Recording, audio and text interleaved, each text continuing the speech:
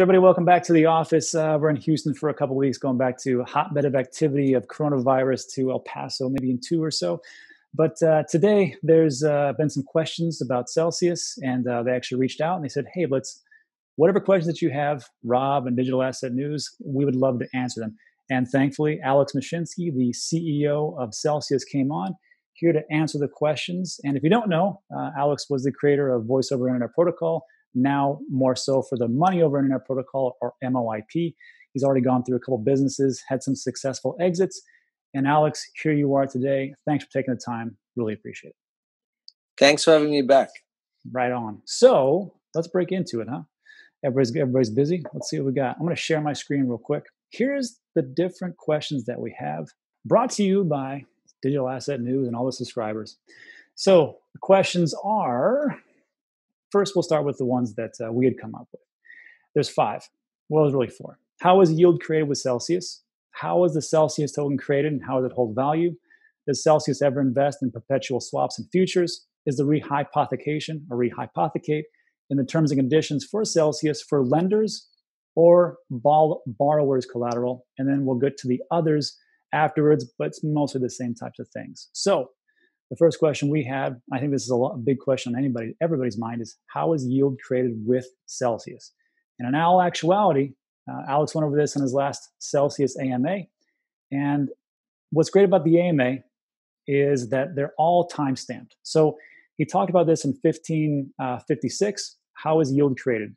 And you can go from 1556 to 22, which I listened to, and it was a lot of answers but there was really no answers answers. And one of the things that you talked about was, hey, if you want to know how yield is created in Celsius, go do a Google search for finance magnates uh, with with Miko. And I Googled that and I saw this one. It's an hour and 11 minutes long. It's great information, Alex, but I didn't hear anything about how is yield actually created. I heard a lot of good structure and, and different uh, opinions about what uh, could eventually happen water flowing down from the banks and bypassing them and into Celsius. Good information, but the question still remains how is yield created in Celsius?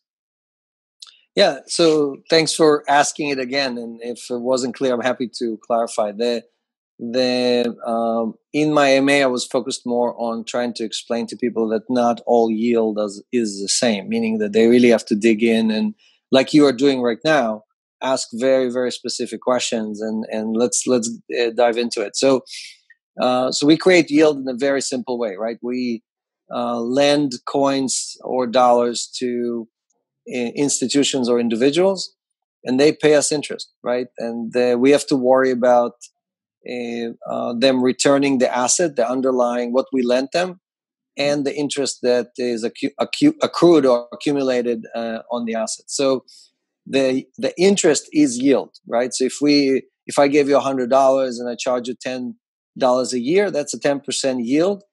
And if I earned ten percent, I'm going to pay eight percent to the community. It's as simple as that.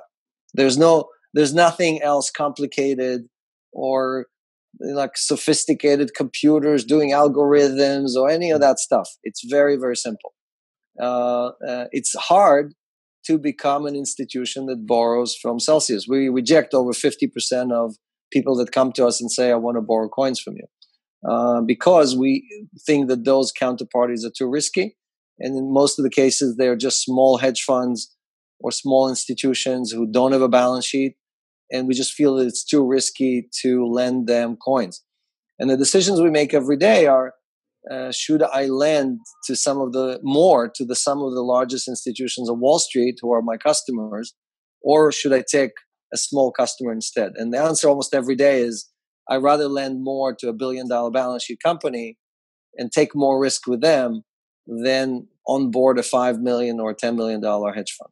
So that's kind of half of the uh, equation. The other half is what we call margin lending. So if you give me uh, one Bitcoin and it's worth eighteen thousand dollars, and you want to borrow uh, uh, money from me, uh, I can lend you nine thousand dollars or fifty percent LTV, right? And I'm I'm still going to charge you nine percent interest or ten percent interest. And again, in this case, uh, I have an asset. I have a very liquid asset that I use as, as collateral, and, and you are a retail borrower, this is not institutional. This is retail borrowing, where you can borrow dollars or stable coins against your main assets. Got it.